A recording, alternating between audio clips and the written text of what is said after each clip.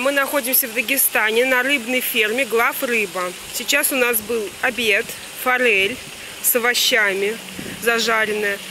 Очень вкусно. Сейчас у нас часовая прогулка. И далее мы уезжаем в Чечню.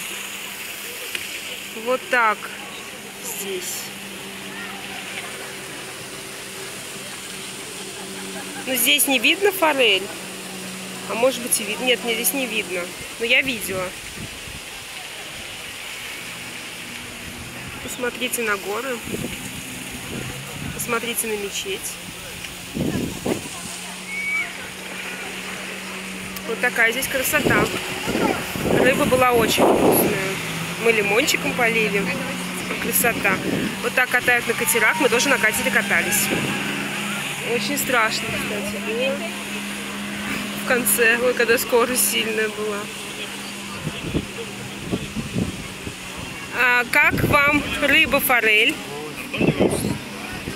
Насладился ароматом. Ароматом, а вкусом?